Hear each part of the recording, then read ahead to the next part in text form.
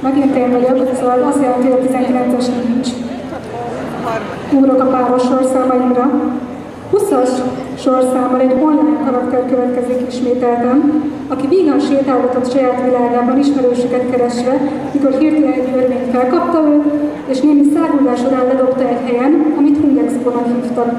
A hely tele volt fura öltözetű egyénekkel, amiket először, akiket először szörnyeknek vélt, de meg kellett állapítania, hogy igenis emberek. Gyors keresgélés után azonban talált magához hasonlókat, akik szintén a Lineage 2 csodálatos világából pottyantak ide. A színpadon Nagy Kinga, aki embervarázsolnak költözött a Lineage 2-ből Nightmare Row-val.